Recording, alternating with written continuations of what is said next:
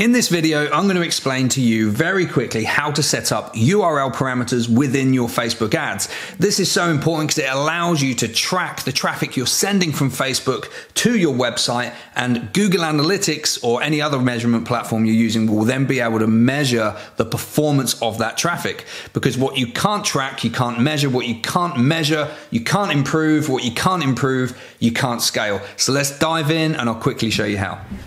Okay, so we are in the system and let's just set up a quick sales campaign in this dummy account that I have created.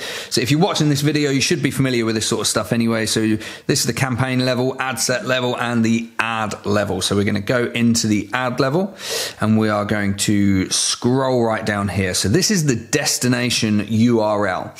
So what we want to be doing is clicking here and let's put my website uh, in there, Lilac james.com and we're going to click build URL parameter. Now up here, what I always do is write meta ads for the source. So this is just where we want to be telling. So when we go through to Google Analytics, we want to know where this traffic has ultimately come from. So meta ads or meta, whatever you want to put, will allow you to communicate to yourself or to anybody else who's reviewing the data where that traffic source is from. Um, then we want the campaign medium. So what we do is we come down and we select campaign name. The reason why I don't select campaign ID is because if you select campaign ID, what you're going to get is a big long list of numbers and it's not not going to make that much sense to you.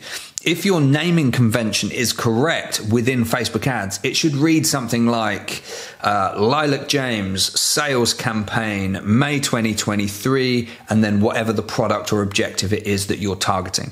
Um, so it'll become really, really clear what where the traffic's coming from, what specific campaign is driving that traffic, and like I say, we select campaign name. Down here, you might want to test uh, the difference between traffics from your ad sets. So we would select ad set name.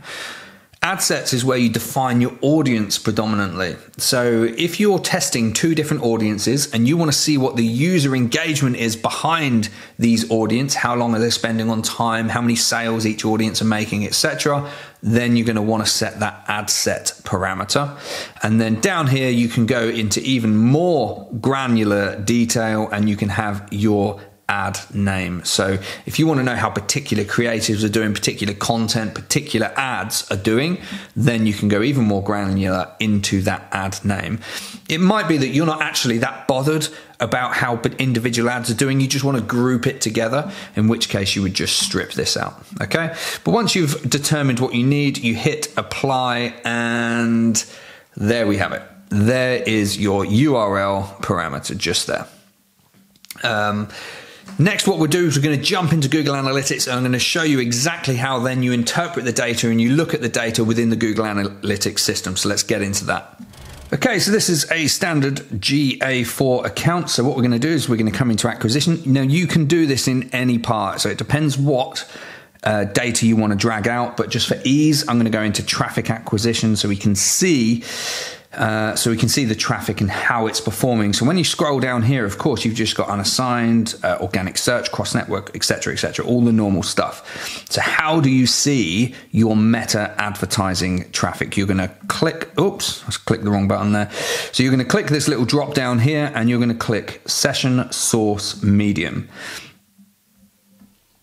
you see how that has then reorganized all the data here. So what we're going to do is come down and you can see that we have a couple of campaigns here and a further one there. And you can then see how many users it's driven. You can see how many sessions it's driven, uh, how many of those were engaged, what the average time per session is. So we can see here that the average time per session isn't that great, but we know from the data within the Facebook system that these campaigns are driving a 10x ROAS. So we're not that bothered because these aren't engagement campaigns or you know these are campaigns designed to make sales. So the average person is dropping off relatively quickly after not finding what they want but we know we've got a 10x ROAS so we're not too concerned about that. Um, and you can see the events per session and you can see a range of other metrics. And if I wanted to I could compare the engagement time between the sessions, how many uh, pages are people viewing um, per session, and any other metrics that I set up with Google Tag Manager or Google Analytics. So that's how you look at it, guys. And that's it, guys. I can't stress how important these tracking links are. Don't forget, if you can't track what you're doing, then you can't measure it. If you can't measure it, you can't improve it. And if you can't improve it, you can't scale it one of the big reasons I see for people stopping their Facebook activity is because they can't measure progress. So they can't see these incremental gains that they need to make with their digital marketing. So don't forget to like and subscribe to this channel for more content on Facebook advertising, Google advertising, SEO, digital marketing, and more. And we'll see you next time.